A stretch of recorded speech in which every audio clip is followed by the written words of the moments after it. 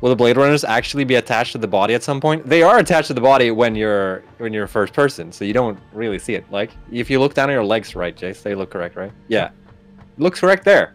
It's just the third person character that's like a bit messed up.